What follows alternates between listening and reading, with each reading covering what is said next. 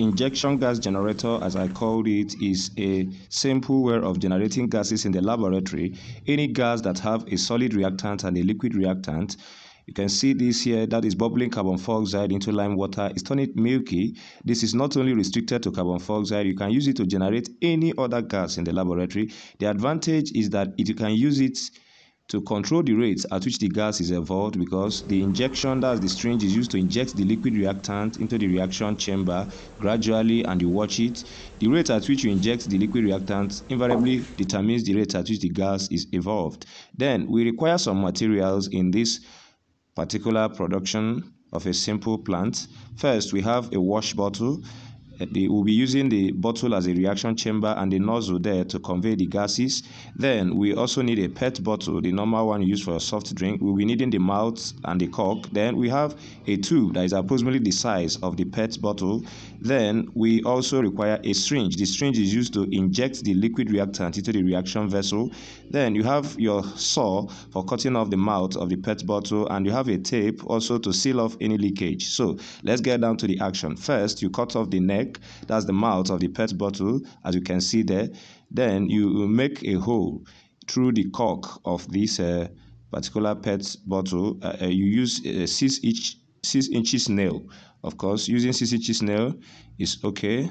As you can see you pierce through it carefully. You don't make it too wide because the size of the nozzle of the wash bottle is not bigger than the size of the 6 inches nail.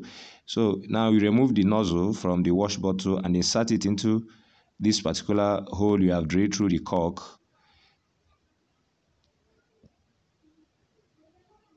As you can see there. Then after this, you can now go and fix it back to the tube. Initially, then let's now assemble these things to form our injection gas generator. So that's the tube. This is the exit tube. The advantage of using this tube is that it doesn't leak, it doesn't leak gases when you remove the needle out of it. Uh, so if you if you can find this type of tube, it's very reliable. Then you are covering one mouth with the PET bottle cork. Then insert one end into the wash bottle. Then that wash bottle will now be our reaction vessel. This is our syringe just normal syringe. Here i'm using 10 mil syringe. This is a solid reactant. You load it into the wash bottle first. Solid reactants are loaded then you replace with the tube after which you now use your syringe to withdraw the liquid reactant and gradually inject it through the tube. If you observe any leakage you can now seal off with the tape provided this is so much reliable that uh, I'll be using it to produce all gases in the lab, provided that there is a liquid and a solid reactant. The gas will be evolved there as shown. Then let's use it for the production of carbon dioxide.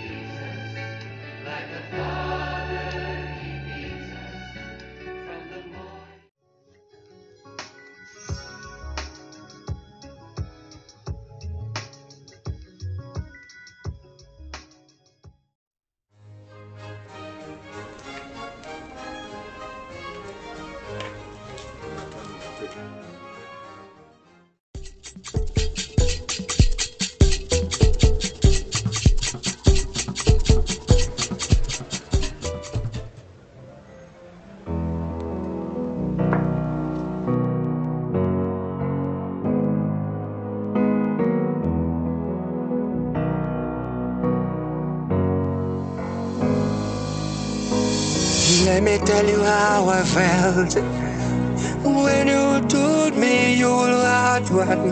I felt I need estimable joy deep down in my heart. I may not have the world. I may not have gold and silver. I pray that God increases your happiness from today. So I've come to say no happy day.